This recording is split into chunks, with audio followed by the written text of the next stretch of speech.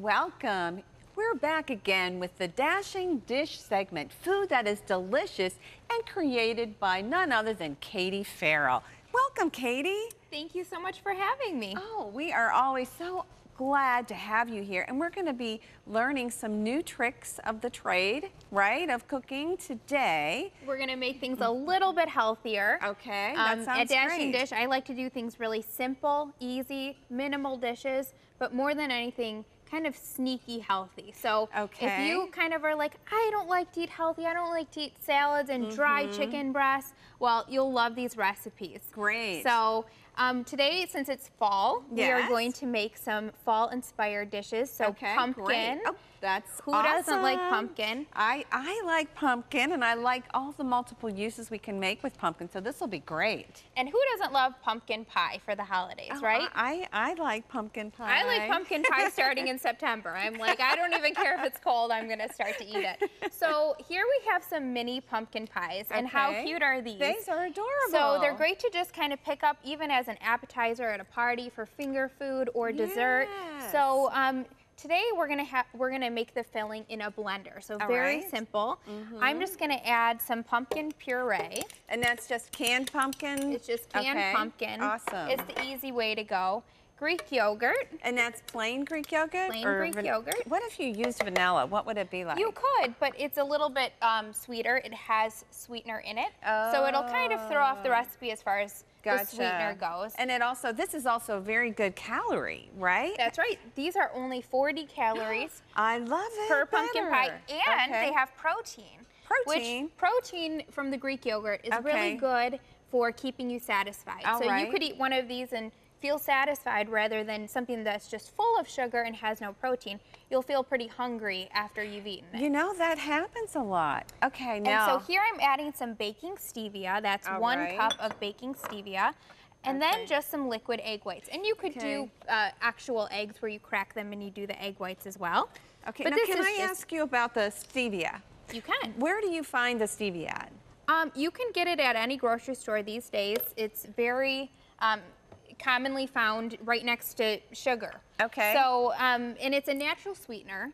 So it's better for you than, say, white sugar. Oh, all right. If you're not a huge fan of stevia or an alternative, a better option than just white sugar would be to do a sugar in the raw or a pure form of sugar so it's not actually bleached because that's what white sugar is. Oh my so very processed and not good for you. So if we buy some stevia, and it may not be baking, it might be in the drops or whatever, we can go to your book that you have or your website to find out how to convert it. That's correct? right. correct. Awesome. And then while I'm blending this, I'll have you do the little pie crust. And these are just Oh. wonton wrappers. right. You can get them next to the produce in any grocery store. Okay. You can go ahead and just pop those in there. All right, and I just put them in just like that. Yep, just like that. Okay, I Pretty will easy, do and I'll that, go ahead and blend it. Oh, okay. This is good. There Very you go. easy. Oh my gosh, that's all it took to blend? Oh, Quick I, and simple. I'm not, I'm slow. I still have several to make. and and as you're making those, um, Mm-hmm. I'll just tell you for the topping of this, you could leave them just as they are. You can make them ahead of time, so it's All great right. for parties. Um, you can do some TruWhip, which is just a natural form of Cool Whip. It's or a whipped topping, Oh and it's um, much better for you. It's organic, and so you can go ahead and just top those with some whipped topping, right. and serve them to your guests. Oh my gosh, I've never heard of Absolutely TruWhip. delicious. Okay, so now that I've put these in, what do you do next? So next, we'll just fill these up, and that's why I do it in a blender. I mean, how easy is that? Oh my gosh. Where you just kind of fill them up. And you sort of guess how. I mean, you just sort of do like a couple tablespoons. You Yep, think? and you just so you can see where it just starts to kind of be filled up Uh-huh. almost to the top. So then you would go ahead and fill this whole thing. You Okay. would bake them 350 for about 15 minutes. oh, okay. Quick and simple. And then you add the um, topping to it as well. Yeah. I'll just add it to that. So now, though, we have something else that you've tried. We do. We Okay. have a pumpkin peanut butter dip. And so this is good as just say a weekday snack Right. Or just for your kids or to have at home. Very simple to make, no baking required. Great. So here we have some more pumpkin puree. All right. Okay. And you can add that to the bowl here. Does it matter how much? You just sort of. Uh, we have a half cup there. Okay. Awesome. And Okay. then this is um, peanut flour, and I've used it in a few of my recipes.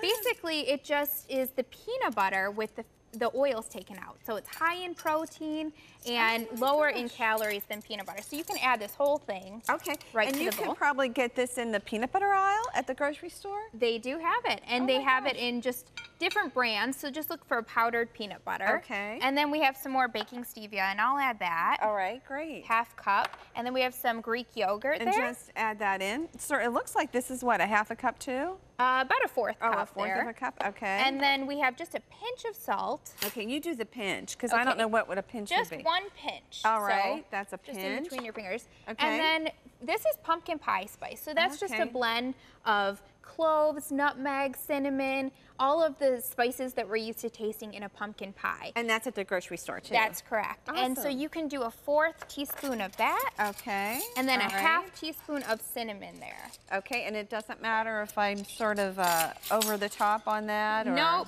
I mean, Okay. s- that's the fun thing about doing something that's kind of a no-bake recipe. Right. You really can't go wrong. You can do it to taste. One thing you told me is uh, like if some people are more into organic, they can just go for what a step up in the when making this, going with different kind of more pure cinnamon and spices and stuff like that. That's right. I always encourage people when it comes to eating healthy to start where you're at. You know, if you Mm-hmm. are used to eating fast food and you know you you're baking with sugar and butter and white flour, start where you're at. Maybe do a few swap outs. So take out the sugar and add baking stevia. Mm-hmm.